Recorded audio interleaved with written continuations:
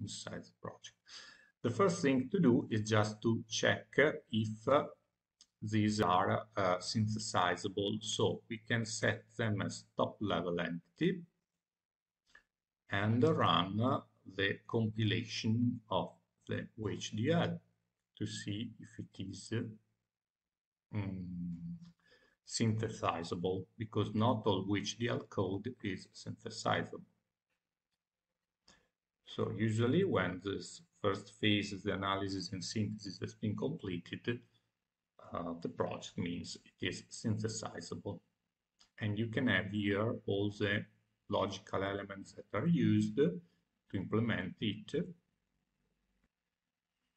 After compilation has ended, you can have a look at the netlist generated, so the schematic, the uh, logical elements that are used. So if you go to RTL viewer, you see that has been realized, synthesized the uh, hardware we have described, the full adder.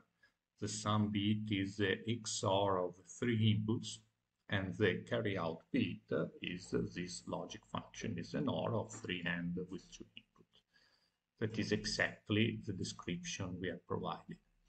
The same thing we can do uh, setting as top level entity the BCD to seven segment display and we can compile also this block to see if it is correct. Okay, so also this one after the analysis and synthesis has shown that uh, it is uh, synthesizable so it is uh, a VHDL code that is uh, correctly synthesizable and programmable to an FPGA. Here the reports uh, shows that are used eight logic elements, uh, total pins 13 and other information. And also in this case, if we want to see the um, result of the synthesis of this VHDL block, we go to the RTL viewer.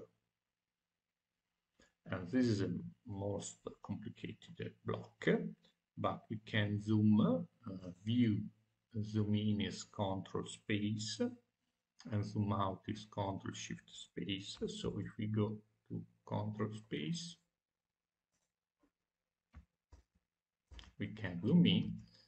The project uh, is uh, just uh, a digital comparators with uh, selectors. If the number in input is equal to this number, then select this output and so on. So it is a cascade of comparator with the um, selector. And it is a big. This is not uh, a, an optimized uh, schematic uh, because we used Elite Edition, so a non, non-professional edition and uh, the level of optimization is not um, very very sophisticated so it is quite simple. If you use a professional edition you maybe obtain uh, projects more optimized with uh, lower delay pro uh, propagation delay times. The top level is not synthesizable so we do not set it as top level entity but uh, we simply have to we can set a top level entity but not uh, um, start compilation but just analyze the current file. So we select it and we just uh, analyze the current file to see if it is correct HDL because this is not uh, the test bench is not synthesizable because we uh, uh, define um, logical values for inputs and these are not synthesizable. So we do not have to synthesize this, but just to uh, analyze if it is correct, the HDL code. If we have no error, it means at least from uh, a HDL syntax level is correct. Okay, the analyze was successful, zero error, one warning, so we have no issue. Now we have to create uh, the top level um, file. So we go to hierarchy. uh, this has been selected as the top level, but it's not uh, the correct one. We have to create a new block diagram schematic where to insert our project. We have to save it as top level entity. So we save it, save as, as DE10, DE10 lit 3 top, exactly. Now in the files, this will be the top level entity. So when we go to hierarchy, we see we have our top level entity, we have our design unit, and uh, inside the um, top level, we will insert the full adder and the BCD to 7 segment display driver. So first of all, we have to create the um, schematics of our two blocks that we have to insert in the top level entity. So full adder, to create the symbol file for the full adder, we select this one. And now if we go to the top and uh, with the right click of the mouse, we go to insert symbol, it opens a project and we can insert our full adder.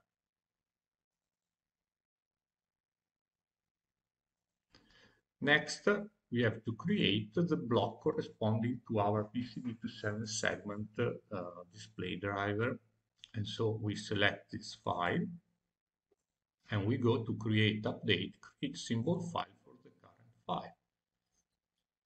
Yes. So we go here and we click on insert symbol and we now insert also the BCD to 7 segment display Okay. you can place them also in this way. That maybe is better. Okay, now we have to connect the inputs and the outputs to the uh, board pins or to the inputs of the BCD to 7 segment display. So, first of all, uh, to insert uh, ABC input pin. We have input here.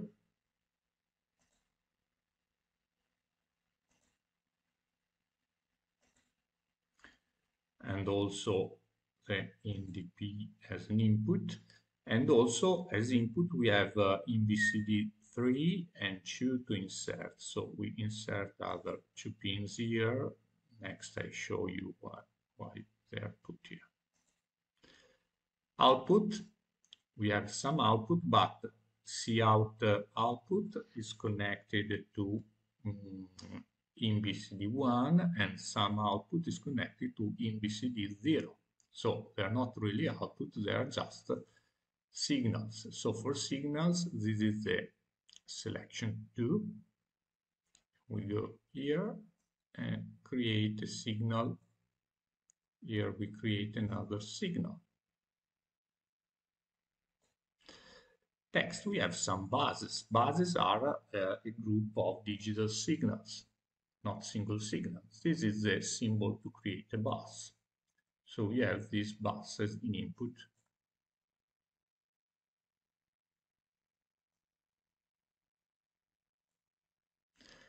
Uh, output are just Q78. These are our output.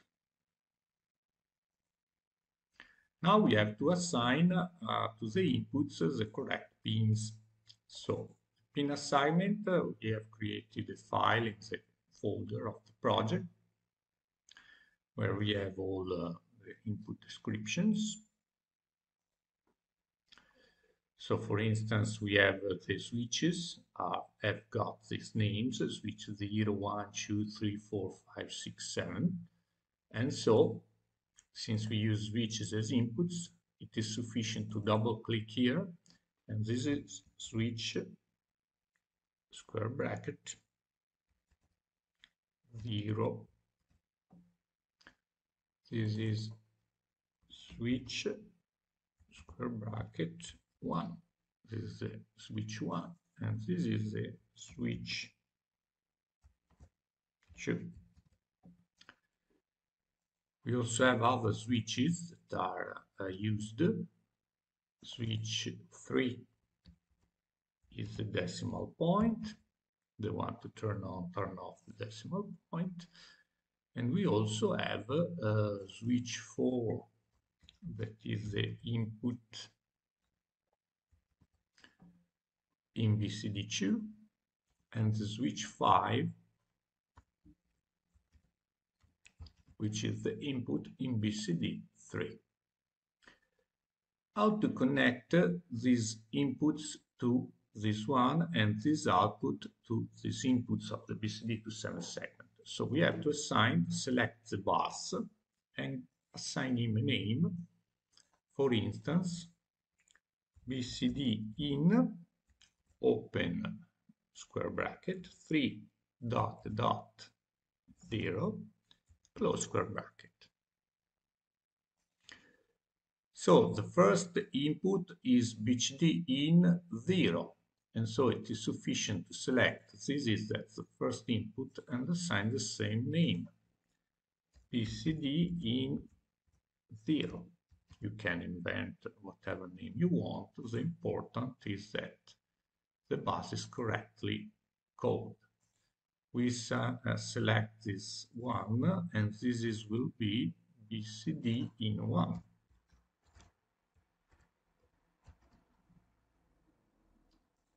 Good. We add here a node, we add here a digital signal, and we do the same thing.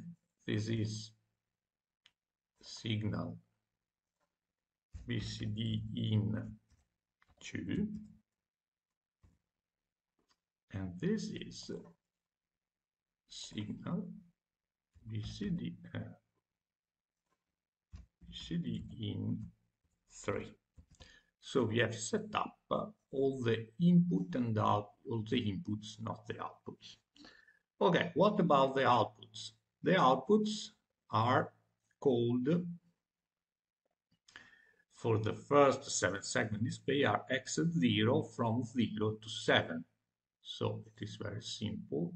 We can call x0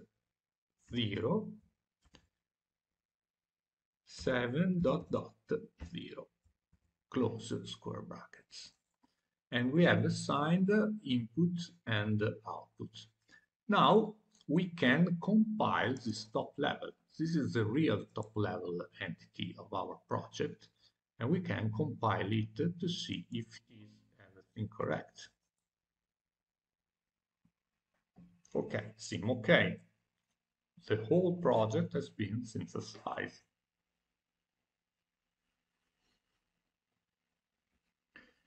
You can find the total logic elements used by the project and the total pins number. Okay, you can also see the result of the synthesis process.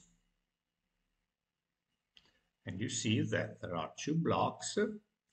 The first one is connected to SVU01 and 2, SVU 3 is connected to this one and 5, 4 are connected to BCD 3, 4, while some is in BCD 0 and out is BCD 1. The output is at 0, 7, 0. You can also see what it is inside each block. So the first block is our full adder and the second block is our BCD to 7 segment display that is the same with plus and minus can and next uh, we have to view so go to shift so this is our um, our the result of our synthesis that is simply the two blocks uh, that we have seen before now connected to their inputs and outputs. Okay the project is ready to be programmed in the FPGA so program it in the FPGA and verify its uh, functioning as we have seen before we go to programmer. And uh, we should be sure that we select this top level file we select this program configure. Now it is not possible to program it because it is not connected to the computer. But when we connect, uh, this button is available and uh, the programming and the verification